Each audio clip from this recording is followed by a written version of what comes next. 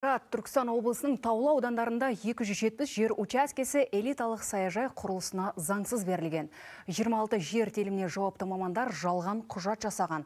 Оның сыртында жергілікті атқарушы орган Түркістан қаласы мен Сарағаш, Сайрам, Төлеби және Түлкібас аудандарындағы ауыл шаруашылық жерлерін үй салуға және демалыс аймақтарына берген.